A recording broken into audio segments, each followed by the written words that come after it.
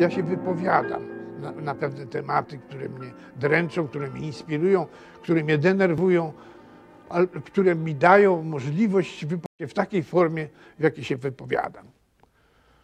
I to, było, I to jest właśnie mm, dzięki tej mojej twórczości, mo, mojemu działaniu, y,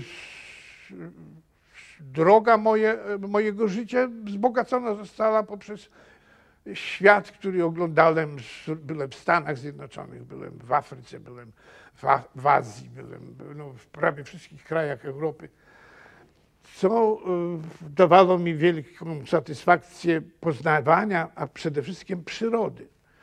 Bo miasta mnie mniej interesowały. Zawsze jestem przywiązany do tego pierwszego miasta, w którym się urodziłem, to znaczy do Zgierza, czyli małe miasteczko, w którym wszystkie domy właściwie to były niemieckie albo żydowskie. I jak wróciłem do kraju, no to pracowałem w zarządzie miejskim w Zgierzu jako inkasent i chodziłem po tych domach, żeby zbierać pieniądze, okazało, że tam prawie nikt nie mieszka. Nieprawda? Mieszka, pozostała jakaś staruszka, jakiś staruszek. No i to i domy były puste, które miały w sobie zaklęte życie poprzez ostatnie 150 lat, bo mniej więcej w tym czasie te miasta się rozwijały, czyli gdzieś początek XIX wieku. Ja jestem właśnie takim rysownikiem małego miasteczka, któremu dano możliwość wędrowania po świecie i Mm, odkrywania przyrody. Cykl Rudery, który powstał, to jest inspirowany moimi wędrówkami po tych pustych domach, w których tylko duch pozostał tych, których nie ma. Czyli po prostu jest tam jęk przeszło, e, e, rozpaczy. I moja twórczość, obiektywnie stwierdzając, to jest cały czas rozmową ze sobą na temat przemijania. Wszystko przemija. Wszystko absolutnie przemija. Moja młodość niewiele się różniła od młodości mojego ojca czy mojego dziadka, ale młodość moich wnuków, wnuków jest zupełnie inna. Nie pamiętają, nie, ma, mieliśmy łączu. Kochani, w 1935 roku czy 6, już teraz nie pamiętam, jak zdawałem do gimnazjum, to na świecie było 2 miliardy ludzi.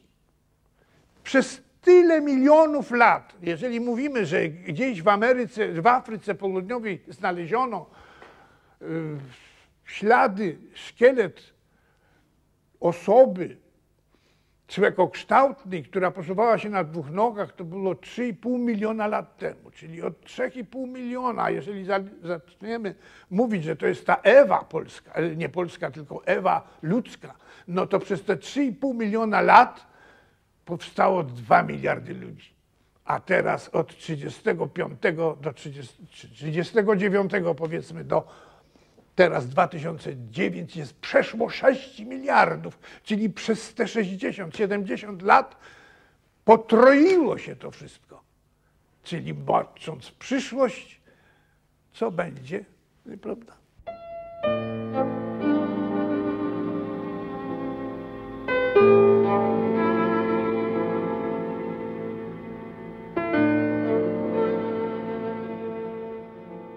biały karton i nic w głowie, ale szkoda zmarnować jeszcze te parę godzin, które mi jeszcze są dane. Ja biorę, maczam pędzel w tuszu i rzucam kleks albo rysunek, znaczy kreskę.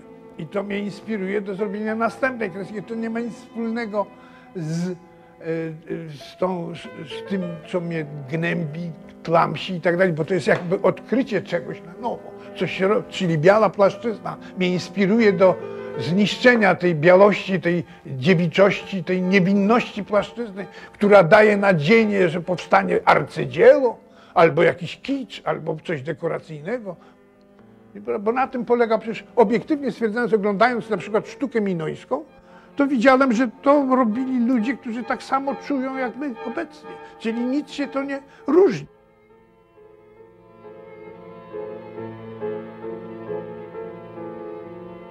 Mnie są bliższe rysunki na, naskalne, nieprawda? Bo tak samo czuł ten człowiek jak ja. To znaczy ja się do niego przymierzam. Bo, niczym, bo miłość, nienawiść, potrzeby takie czy inne człowieka istniały i istnieją. W tym jest to człowieczeństwo, nieprawda? Jeżeli spojrzymy na, tych, no, na, na dzieła, powiedzmy, Szekspira, a nawet się, czy, przeczytajmy Arystotelesa, czy powieści, czy Homera, Iliadę, nieprawda? To on mówi o nienawiści, o miłości, o walce, o pogardzie, o, o wspaniałym, o tęsknocie i tak dalej. Tak samo czują, czuli ci ludzie, jak dzisiaj my czujemy.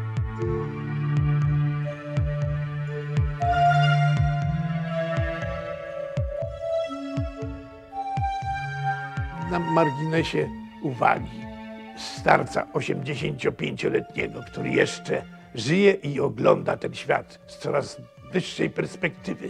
Ogląda ludzie. Dawniej byłem w mrowisku, gdzie każdą mrówkę poznawałem, a teraz już nie widzę mrowiska, tylko widzę las, w którym jest pełno mrowisk. I wiem, co czeka to mrowisko, tamte.